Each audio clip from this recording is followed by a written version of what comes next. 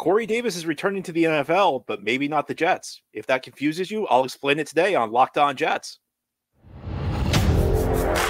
You are Locked On Jets, your daily New York Jets podcast. Part of the Locked On Podcast Network. Your team every day.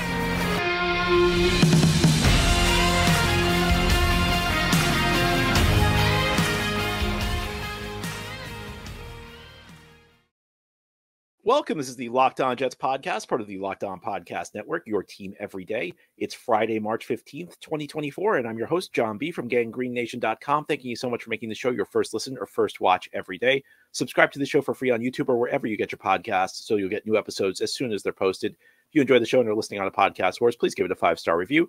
If you're watching on YouTube and enjoy the show, give this episode a big thumbs up. It helps us out, helps other Jets fans find the podcast. Today's episode of Locked On Jets is brought to you by FanDuel. Make every moment more. Right now, new customers get $200 in bonus bets with any winning $5 bet. That's 200 bucks if your bet wins. Visit fanduel.com slash locked on to get started. Well, the offseason continues to roll on.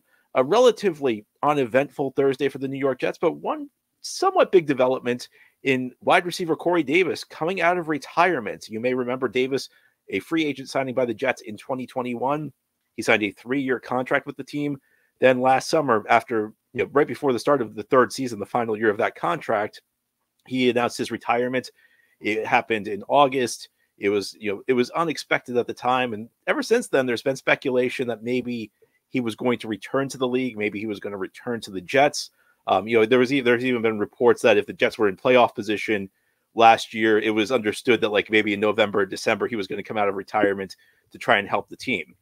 Despite what I just said, there's no guarantee he's returning to the Jets. So the Jets are actually releasing him, which will make him an unrestricted free agent, able to sign with any team, including the Jets. There's been some rumors that maybe the Jets are, are going to be interested in a reunion, but at a lower price. So you, you may be very confused by all of this. So I'm going to try and explain this in terms that are as simple as possible because this is a very complex situation. When Davis retired, the Jets placed him on what's known as the reserve retired list. And what that meant is that Davis's contract essentially paused. Now the Jets, because he was retiring, there was a little bit of a dead money hit. The Jets were hit with like I don't know six hundred, seven hundred thousand dollars in dead money last year. But aside from that, Douglas, uh, um, aside from that, Davis leaves the salary cap for the Jets. His contract did not count against the, the cap. Obviously, the Jets did not have to pay him because he was no longer a player. But by placing him on that list, the reserve retired list, it's a it's a list you can place players who have retired. It meant that Davis's contract essentially remained. It was just kind of like they hit the pause button on it. And if he ever on retired, the contract would then pick up from where it left off. And Davis has it had last year what would have been a salary of $10.5 million. So you may be wondering, do the Jets save any money by cutting Davis? And the answer is, well, kind of. So it does not like create new cap space for the Jets. But because of the dynamics that I laid out, because Davis's contract would have unpaused, that would have become a $10.5 million cap hit that would have been added to the Jets cap. And because they're re- releasing him, they know they do not have to add that $10.5 million to their cap. And you know, you may wonder why why did the Jets uh, place Davis on that list if they were just going to cut him? I don't think they knew he they were going to cut him if he came out of retirement. Again, last year there was talk that if the Jets were were competitive, Davis was going to come out of retirement and try and help them for the stretch run. So the Jets wanted to retain his rights. Um, you know, a similar situation, obviously a player that had far more significance. Brett Favre, um, the Jets, when Favre retired, the Jets placed him on the same list. And then once the Jets drafted Mark Sanchez, they released Favre. And that's how Favre got to Minnesota. He became a free agent only after the Jets released him. And the reason the Jets did that was the Jets drafted Sanchez, and it was in the days before the rookie wage scale. So Sanchez essentially was paid like a franchise quarterback the day he was drafted and the Jets could not have if Jets were said, you know what, if Favre comes out of retirement, our cap's going to be ruined. So we have to, we just have to cut Favre. So that's essentially the situation. There are reports that the Jets could potentially be interested in a Davis reunion. And I tend to agree with the Jets. I just think $10.5 million is too much money. Now, if you're a longtime listener, you know that like I, I never was as hard on Corey Davis as a lot of people were. I don't think Davis was necessarily a great signing. I think he was in many ways a disappointing signing but I, I felt like the dialogue around Davis was not entirely fair. I remember thinking that, you know, Davis was an okayish receiver. He was a guy who produced around an 800 yard pace with the Jets. You know, if you look at his his track record with the team, he had a lot of really bad games. He had a lot of really bad drops. He had a lot of really bad moments. He also struggled to stay on the field. I mean, he missed a lot of games due to injuries, and you know, injuries aren't necessarily the player's fault. But you know, there's the old saying: the best sort of ability is availability. But people treated him like he was Allen Lazard. I remember last year, like Jets fans were like really fired up about signing Lazard. And I think it was just because like they they viewed him as a guy that wasn't Corey Davis, and like anybody who's not Corey Davis must be better. Jets fans were way too hard on Corey Davis. I maintain that to the end. He was a decent starting receiver, may not have been like the greatest value for what the Jets paid for him, but wasn't like a total black hole. And he had some very good games with this team. Now that said, I, don't think Corey Davis solves your problems at wide receiver if you're the Jets. Because first of all, you know, he wasn't that great. But second of all, there's always a risk when a guy misses a full season. So if you're going to tell me that Corey Davis can come back as the number two receiver, I'm going to say the Jets did not do a good enough job with the wide receiver position this offseason. And that's even last year, I remember distinctly saying, you know what? I understand that like the Jets are trying to upgrade the receiver position, but you got to do better than Corey Davis or Allen Lazard. People acted like it was an either or. It's like they signed Lazard. It's like, okay, well, he's, he's an upgrade on Davis. Well, of course, he was not. But the point is that you should be trying to do better than both Davis and Lazard. I think the Jets should be open to a Davis return at a, the right price, you know, at a low price. If he's going to be like a supporting player, if he's going to be like, you know, the, the fourth option in the passing game, that's a that's a roll of the dice you can take at like I don't know five four or five million dollars, about half the price. You know that that's the type of deal I can live with. But I think going into the season, counting on Corey Davis to be like one of your top two options, that would be very risky, and I think it would be a mistake for the New York Jets. So you know, I think given the situation, I think it was right for the Jets to place him on the reserve retired list. But I think, you know, that was that was under a different context. You know, there was there were scenarios where Davis returned where it would have made a lot of sense for the New York Jets to keep him around at his $10.5 million salary. I, I don't think $10.5 million makes sense for the team in its current state. And I think, you know, part of it's the Jets are very tight up against the cap right now. Even still, they did make a move yesterday we're going to get to that may help uh, with their cap situation a bit. But I, I look at the situation and I say to myself, you know what, uh, Corey Davis is fine. You know, listen, he'd be better. He'd be, be better than like having Randall Cobb out there, but you still need more. If the Jets just bring back Corey Davis this offseason, this wide receiver group is just not good enough behind Garrett Wilson. Look, it's going to be better with Corey Davis than it will be with Lazard or Cobb. I mean, that I'm pretty confident in, even after a year away from from the NFL. I do think Corey Davis is still going to be an upgrade in, in some respects for the New York Jets if he comes back. But, you know, just I don't think he's the right guy if we're talking about, you know, we keep talking about the Jets need to to improve the, the group behind Garrett Wilson. If that's all you're doing, I don't think you've done a good enough job. So uh, it's one of those things. I think it's one of those situations where absence makes the heart grow fonder because a lot of people who were very critical of Corey Davis a year ago are now saying, "Oh, Corey Davis is going to be back. He's going to fix the team." And I don't know that's necessarily true. And I think like maybe a year of Allen Lazard has gotten people to appreciate what Corey Davis brings to the table a little bit more. But if if a year ago you were saying you wanted Corey Davis off the team, I don't think you could turn around today and say Corey Davis is going to be the savior for this wide receiver position. Ahead here on the Locked On Jets podcast, we'll turn our attention to some other Jets news. As I mentioned, there was a contract restructure yesterday, or actually, it was really more of a contract extension. There are a couple other rumors out there around Jets players. We'll break them all down as we continue on this Friday edition of Locked On Jets. Today's episode of Locked On Jets is brought to you by Robinhood Retirement. Did you know that even if you have a 401k for retirement, you can still have an IRA? Robinhood has the only IRA that gives you a 3% boost on every dollar you contribute when you subscribe to Robinhood Gold. But get this now through April 30th, Robinhood is even boosting every single dollar you transfer in from other retirement accounts with a 3% match. That's right, no cap on the 3% match. Robinhood Gold gets you the most for your retirement thanks to their IRA with a 3% match. This offer is good through April 30th. Get started at robinhood.com slash boost. Subscription fees apply. And now for some legal info. Claim as of Q1 2024, validated by Radius Global Market Research. Investing involves risks, including loss. Limitations apply to IRAs and 401ks. 3% match requires Robinhood Gold for one year from the date of the first 3% match. Must keep Robinhood IRA for five years. The 3% matching on transfers is subject to specific terms and conditions.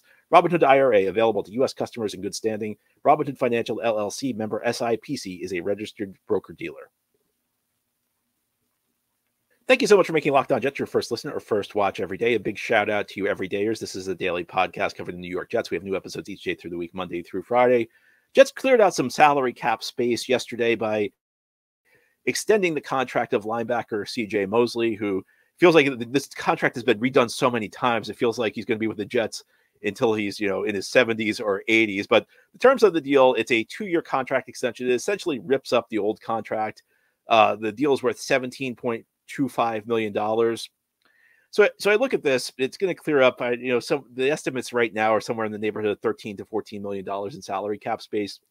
I look at the situation and I say, okay, in a perfect world, I would not want to like extend a linebacker for multiple years who's 32 years old.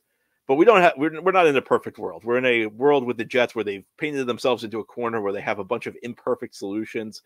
And I have to say, you know, if they were going to redo the Mosley deal, this was a pretty good way to do it because it's 17.25 million over 2 years and it again it rips up the old contract his current his current contract had him making like 17 million dollars as a base salary this year. So instead of 17 million dollars this year, it's 17.25 over 2 years. So really you only added like a quarter million dollars of new money. Essentially what you're doing you're you're taking this year's salary and you're stretching it out over the course of two seasons. So I think it's a tough, you know, it's tough for me to get upset with this. It, I think this is actually like a pretty decent deal for the Jets. Now it guarantees Mosley's going to be here in 2025. And again, I don't love the idea of a 32 year old linebacker you know, extending extending him for multiple seasons. But you know, a couple things about that. First of all, Mosley's playing at a high level. I thought he just had his best season with the Jets, and I think a lot of it has to do with Quincy Williams' emergence. Uh, Quincy Williams had an outstanding season, made first team All Pro as a linebacker, and his breakout season, I think, allowed Mosley to do the things to focus on the things CJ Mosley does really well. You know, CJ Mosley Robert Saleh's uh, system requires linebackers to cover a lot of ground, and that's not really CJ Mosley's game. I never really thought of him as a sideline to sideline linebacker, even though you know he's kind of adjusted. You know, he's he he drops some weight to try and get faster, but Mosley is a guy who you know, he's a downhill guy. He plays the run really well. He fills the right gaps. He also brings a lot of intangibles to the table. He's a guy who makes sure everybody's in the right spot on defense. You know, he knows the system inside and out. Make sure that the defense gets lined up correctly. He's also an outstanding locker room guy you know, a guy who's been voted captain consistently with the Jets. Everybody raves about him. And personally, like I love CJ Mosley because he did an interview with me a few years ago on the show. It was actually absolutely one of the best interviews I've ever had. Great guy. Um, you know, lot to like about him. And, you know, you look at this and okay, it's not bad. It's really, it's, and how many times over the couple last couple years, if you've been listening, I, I have I said I'd love to have CJ Mosley at half his salary. Well, they just cut his salary in half you know, they went from 17 million to just over eight and a half million. So we're getting him at a more palatable salary. You know, my biggest issue with with Mosley wasn't Mosley; it was the contract. The contract was a total albatross when Mike Maccagnan signed it to him. Signed him to it in 2019. You know, Mosley was a you know, a guy who was a good linebacker, but he was always a second. You know, he's a guy who made the Pro Bowl. He was a second team All Pro, but he was never the best linebacker in the NFL. And Jets made him one of the top five defensive players, defensive top five defensive paid players in the league you know, he was paid more than most edge rushers. He was paid more, more than most shutdown corners. It was a crazy contract. We've got the contract now at a more reasonable rate. So, you know, I think that this is to the extent that Jets had a bunch of imperfect solutions. This one was pretty good, and it keeps Mosley here, a guy who you know the coaching staff loves. Everybody loves him. The the team loves him. Guy who's just again just had his best season with the Jets. Just, and again, I think a lot of it's Quincy Quincy Williams can now cover all the ground. Mosley can can do this the CJ Mosley stuff. It's like a good partnership that the pieces fit really well. So uh, good move, I, I, think. There's also rumors the Jets are trying to trade Allen Lazard. I mean, yeah, sure, they're trying to trade Allen Lazard. I mean, I, oh, you're gonna how how long are, are, you gonna have another GM on the phone? I mean, the, the, the other GM when when Joe Douglas calls these other GMs and says I want to trade Allen Lazard, they're gonna hang up immediately. I mean, I mean, what's to happen? Or maybe maybe they'll say we have a bunch of old, used shoulder pads. We're we're thinking throwing out. Maybe we'll send you that for Lazard. Uh, it's to be very difficult to trade Allen Lazard. Um, you know, uh, like uh, I'm sure the Jets would love to get rid of him. It's also like I'd love it. I'd love the Jets to trade Lazard in part because Lazard's terrible, in part because you just end that contract, you turn the page on this. But I'd also like it from the standpoint that the Jets have been so deferential to Rodgers in these personnel moves the last couple last year that I, I would just like the, the, the idea that you know Rodgers is a player, Rodgers not the GM. So I, would like I'd like the Jets to be able to trade Lazard from that standpoint. And you know, if you trade Lazard and bring Corey Davis back at a cheaper contract, look, the Jets still need some help at the wide receiver position, even with Corey Davis around. And by the way, you know, time is really starting to run out the receiver position. I said the first couple of days of the week, you know, we still have time. There's still plenty of good players available. Well, a lot of the good players are going off the board now. I mean, looking at the receiver position. Hollywood Brown signed with Kansas City yesterday. Um, other guys, uh, you know, a lot of other guys have, have kind of gone off the boards. At the time we're recording this podcast, the only guys who I think are, are, would really help the Jets who are available are Mike Williams, formerly of the Chargers, who I think would be a perfect fit. Comes with a lot of injury concerns. You know, that it's going to be a roll of the dice if you get Mike Williams, but on paper, he would fit exactly what the New York Jets need. And the other guy is Tyler Boyd, who's just a good slot receiver. I don't think Boyd's enough though. Like I honestly think we're to the point where Jets need to go get Mike Williams because we're almost out of time. You know, I, I've been telling you that the first couple of days of the week, you know, relax.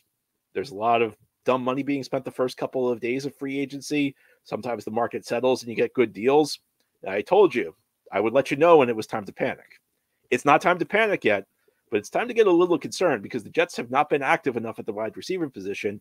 And now the, the, guys who are good are starting to go off the board. Now the the selection's becoming very limited when we're talking about options at the wide receiver position for this team. So the Jets need to make a move quickly at the receiver position. Now, one good move would be get rid of Lazard. You know, if we get we send Lazard packing, that that that's addition by subtraction. But you know, the, the options are starting to dwindle. Now, it's always possible, you know, nobody thought Morgan Moses was going to be available when we're talking about the right tackle position. It's also possible that, you know, maybe there's some receiver we're not aware of who's going to be put on the trade block. And of course, I know the draft is still there, but you don't want to go into the draft absolutely de- desperately needing a position. That's not a good spot to be in. So it's time for the Jets to make a move at the receiver position. They've just cleared out some cap space with Mosley. Maybe they can get some some more. Maybe they get get rid of Lazard, not not use up that that roster spot but it, it's time for the Jets to make a move at the receiver position. Now, here on the Locked On Jets podcast, we'll turn our attention to a guy who left the New York Jets, is a former fifth round pick in 2020, and maybe the last member of that class who had a reasonable chance of returning to that team. And just makes you reflect on why the Jets are in the situation they're in now. I'll go into that in more detail as we continue this Friday edition of Locked On Jets. This episode of Locked On Jets is brought to you by FanDuel. Say goodbye to busted brackets because FanDuel lets you bet on every game of the tourney. Whether you're betting on a big upset or a one seed, it's time to go dancing on America's number one sports book. Right now, new customers get $200 in bonus bets if your first $5 bet wins. Again, that's 200 bucks to use on point spreads, money lines. You can even pick who's going to win it all. Exciting weekend in college hoops. The conference tournaments are underway. They're kicking into high gear this weekend, but that's just the appetizer. Next week, March Madness begins you'll fill out your bracket, obviously, but if you're like me, your picks will probably all be gone by the end of the first weekend. Well, again, on FanDuel, you can bet on every single game. So even if your bracket busts, you can win. Just visit fanduel.com slash locked on. Again, it's fanduel.com slash locked on and bet on college hoops until they cut down the nets. This is the Locked On Jets podcast here on this Friday, talking about the offseason, which has gotten underway this week. Jets have made a few moves. They've also lost a couple of players. They lost uh, Bryce Huff early on in the week. On Friday morning, news broke that the Tampa Bay Buccaneers have agreed to terms with cornerback Bryce Hall, who you know was not expected to stick around, but there was a scenario where maybe Hall did not have the market he wanted, and maybe the Jets could have retained him to be a backup corner. And Bryce Hall's departure makes it very likely that no members of the New York Jets 2020 draft class will receive a second contract with this team it's possible, you know, Ashtyn Davis could come back. The reports are that Ashtyn Davis probably not coming back because Ashtyn Davis is seeking a starting job. Now, it's also very possible that nobody wants to give Ashtyn Davis a starting job. Ashtyn Davis had had a good season in 2023, but it was in a part-time role where the Jets kind of used him in a very specialized way. That's you know, succeeding in that role is very different from being able to succeed as a starting safety. So yeah, maybe there's an outside chance Ashtyn Davis comes back. Maybe there's even a really, really outsized chance Mekhi Becton comes back if like the market completely falls out for Becton. Yeah, I wouldn't count on that just because like um, the league is in such has such short short supply of tackles that I feel like somebody's just going to roll the dice on Becton's pedigree as a former top 11 overall pick. But realistically, nobody's coming back from the 2020 draft class. In fact, you could include Huff in the 2020 draft class, but now we know he's not coming back. So the Jets had retained Huff you can at least make an argument that maybe you know we maybe one player succeeded from this class, but you know, probably the most again the most realistic guy is Davis. And if you could bring mm-hmm. Davis back, that would mean you had one member of this draft class come back as a backup, and that's simply not good enough. And you know, when we talk about the job Joe Douglas is doing, that's a pretty big red flag with Douglas. That his first draft class, and it takes a couple years to evaluate it. And, you know, back in 2020, at the end of that first, at the end of the 2020 season, when everybody was a rookie, people were kind of people were really praising it because back then it held up okay as a left tackle. Denzel Mims had flashed a little bit the second half of that season. Even Hall had gotten some starting some starting experience. Braden Mann was the punter. You know, at, at the time, it, after the first year, it looked pretty decent. But as frequently happens, the first year, you know, you have low expectations. Maybe guys clear the low bar, but it's a question of can your guys sustain it? And we look at the situation the Jets are in right now. Part of the reason they're in such a tough spot is this draft class. And we've talked about this for years. You know, when Joe Douglas first started, you know, I preached patience because I said, you know what, the Jets have whiffed on draft after draft after draft under Mike Maccagnan. So it's good. It was going to take time for Douglas to build up the roster. You have to be patient. Well, now I've been patient. We're in 2024. His first draft class has now reached the end of the rookie contracts. And it's looking like not one of those players is good enough to bring back. You know, if you look at Douglas's second draft class, I mean, Zach Wilson second overall, we know he's gone. Elijah Moore's already gone.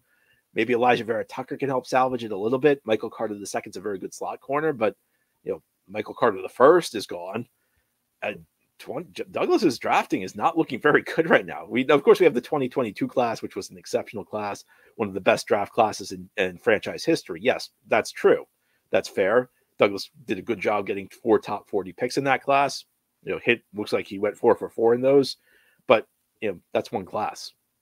And overall, I think you have to look at this draft record right now. And I think the reason that like this really stands out to me is Hall leaving kind of puts the kind of kind of puts the, the class into focus. And now we can look at this from like a 30,000 foot view. And we can see that, you know, look at the holes on the roster right now. I mean, there's a huge hole at the tackle position. That's what you get when you whiff on Mekhi Becton.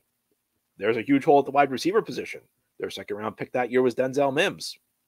You know, it's not an accident that the Jets the Jets have their most glaring needs at positions they absolutely whiffed at in the NFL draft. And you, you go to the second year quarterback. We know we know the situation the Jets are in at quarterback. We know all the moves they've had to make over the last year, um, bringing in Aaron Rodgers and then you know filling in with guys Rodgers wanted. Well, it's because they missed on Zach Wilson. You know, again, wide receiver, they have a big hole. They missed on Elijah Moore. It's just not good enough. And you know, we can focus on a lot of things. But this offseason, the Jets just entered it with too many holes. And we talked about it, how it was going to be tough.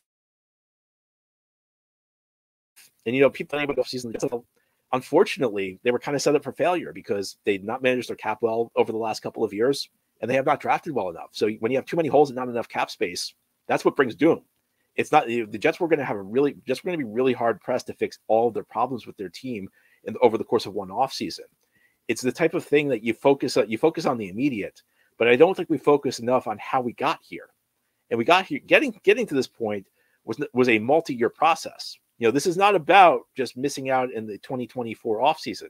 When you have as many glaring holes as the Jets have at the premium positions, it's not easy to. It, you know, if the Jets just went into this offseason with like uh, with a hole at right tackle, and that was it, and that was the only issue they had at the premium spots, then you could make a trade for Morgan Moses and everything's fixed. Even a good trade like the one the Jets made for Moses, that only gets you really a fraction of the way to where you need to get. And with the Jets cap situation, with their with the troubles that they have even after the Mosley extension, that's how you get here. You know, it, we everybody's everybody's going nuts now about Douglas. Oh, Douglas isn't signing enough guys. You know, this was a longer term deal. You can't really build an entire team over the course of one off season. And the fact the Jets need to build as much as they do is a testament to Douglas's failures. And Douglas's failures, we can start to look at this. We can now really start to evaluate his draft classes. And I think we, we can start to say that what Douglas has been doing in the draft is not good enough. And you know, we that first year we saw a lot of the traits that Vin Douglas that have led to disappointments where he banks too much on athleticism over the ability to play. And there's look, there are some teams that do very well scouting athletic players. Douglas is clearly not a guy who can figure out which athletic guy can we develop. You know, it's just not good enough for the New York Jets. And yeah, you can go feel free to go crazy about what the Jets have done or not done this offseason, but understand that the issues with this franchise have built over a much longer period. Anyway, that's all for today's episode. This has been the Locked On Jets podcast, part of the Locked On Podcast Network. Your team every day is our motto. As always, if you enjoy the show, hit the subscribe button where you're watching or listening so that you'll never miss an episode. If you enjoy the show and you're listening on a podcast source, please give it a five star review. And if you're watching on YouTube and enjoy the show, give this episode a big thumbs up. Helps us out, helps other Jets fans find the podcast. Have a great weekend, everybody. We'll be back next week to talk more Jets.